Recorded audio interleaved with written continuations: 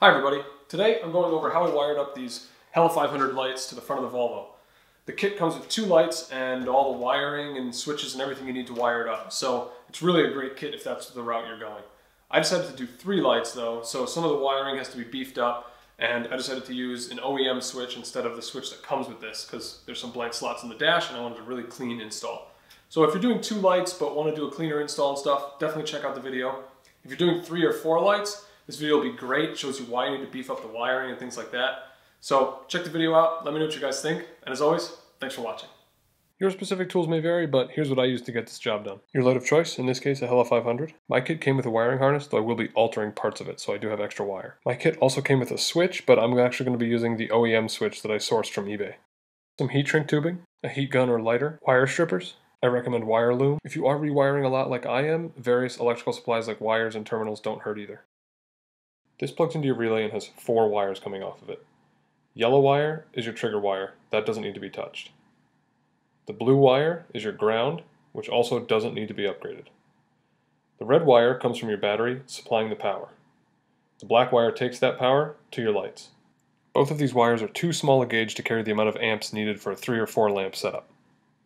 Now you can start taking apart the wiring harness. This is better done with some terminal removal tools, but in this case, with this harness, if you have a small screwdriver, it works just fine. That's what I used and I didn't have any issues. There's a little tab on the terminal that holds it to the plug, and what you're trying to do is depress that tab. So in the case of this first one, I went from the opposite side and pressed the whole piece in to get be able to pull it out.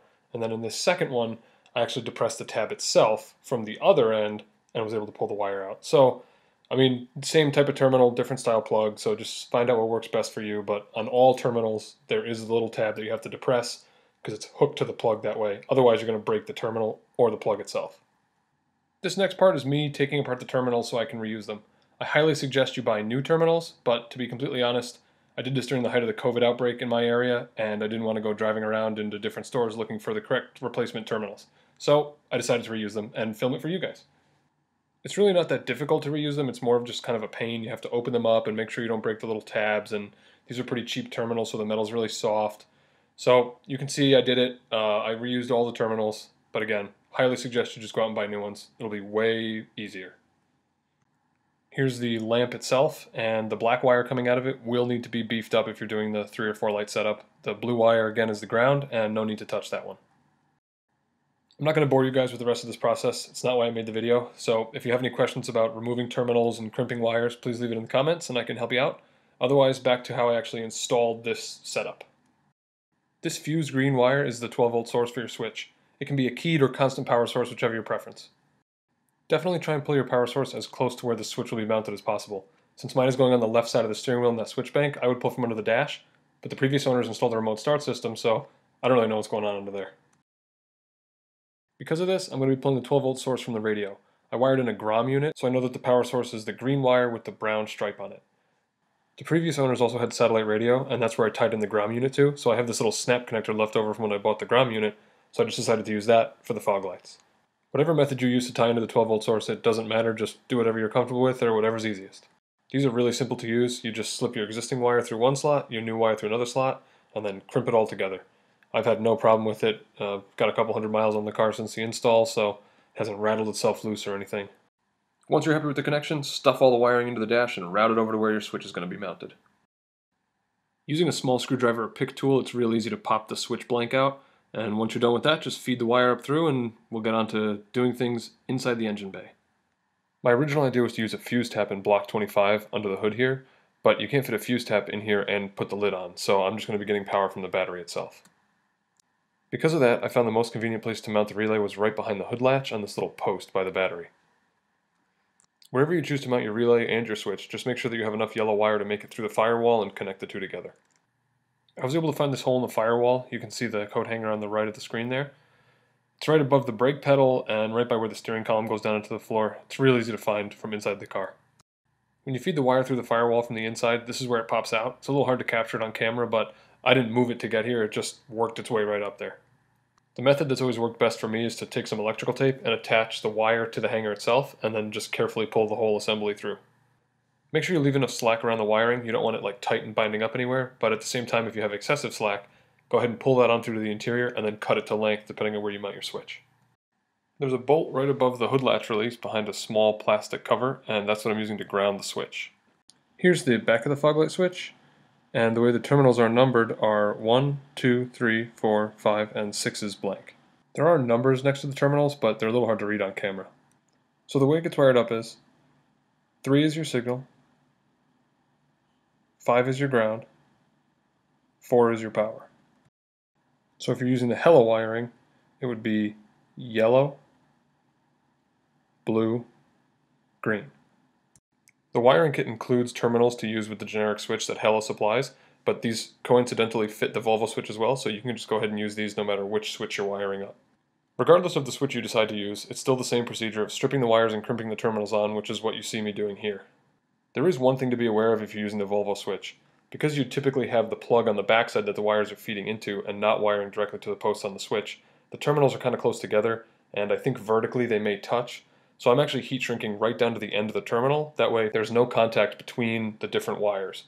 If you're using the generic switch that comes with the Hella wiring kit, that's not an issue. As you can see, the terminals slide on nicely and everything fits great. One thing to note is don't follow my wiring in this part of the video, follow it from what I previously stated about where things are connected. For whatever reason, the wiring diagram I looked up wasn't right for what I wired up in this portion of the video. Took a little bit of trial and error of me just swapping plugs out and seeing how the other switches were wired to figure out the correct way of doing it, which is what I previously stated before I started doing this. So just refer back to that if you have any questions about which wires go to which studs on the plug. With the relay roughly in place, I ran the black power wire behind the headlamp, in front of the radiator support, down behind the front bumper, and then through the lower grille. Obviously with the wire running through the lower grille like this, you can't remove the grille without removing the wiring. I personally don't have an issue with that because the amount of times I'm going to have to remove that lower grille is very slim, and if I do, then I can just unplug the relay and fish the wiring out that way. Next up is the red wire, which is going straight to my battery. The fuse that Hella supplies for the power wire is 15 amps, and Three lights equals roughly 13.75 amps or 14 amps if you want to round up. So the 15 amp fuse will be totally fine for a two or three lamp setup. If you're doing four, you'll probably need to upgrade the fuse. With the lights mounted, now I can connect all the wiring. I'm going to be running the ground wire back to the negative post on the battery terminal for both the lights and the relay. I couldn't find a suitable ground otherwise. The front bumper wasn't a good ground and anywhere else along the front just didn't provide a good ground when I measured it. So if you guys know a better ground, go ahead and use it and actually comment and let me know, but otherwise just run everything back to the negative battery terminal. At this point, just connect all the wires together. Blue goes to blue, black goes to black. With this wiring being exposed on the front of the vehicle, I wanted it to be as sealed as possible, so I used the heat shrink style butt connectors along with the adhesive style heat shrink tubing over top of that. I haven't taken the car through a winter yet with this setup, but I have gone through some rainstorms and I've washed the car a few times since I installed the fog lights, and I haven't had any problems with the wiring. So if you do have any questions about the longevity of it, just leave a comment and I'll let you know how it's doing at the time. Once I finished, I realized that I was unhappy with some of the routing, like some of the wires crossed over each other in a way that I didn't really like. I don't think it ruined the setup, and I think it still looks really clean, and I'm really happy with it, but just be aware of which wires are crossing what, how they're being fed, and so when you connect it all, you're happy with how it's run. I used a wire loom on the front end here just to clean up the wiring a little bit, and then I was able to zip tie it up around the bracket and you can't see the zip ties behind the fog lamp and it looks really clean. With all the wiring buttoned up, that's the end of your install. You should be able to reconnect your negative battery terminal and turn your lights on.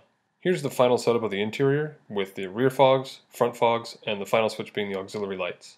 I wanted to keep this video about the wiring of the lights and not really the mounting of the lights because there's so many different options. If you do have any questions about the mounting of the lights, please check out my other video where I quickly go over that. Well, if you've made it this far, thank you so much for watching the whole thing. I hope this helped you install some auxiliary lights on your Volvo or other car. If you have any questions, leave it in the comments, and don't forget to subscribe.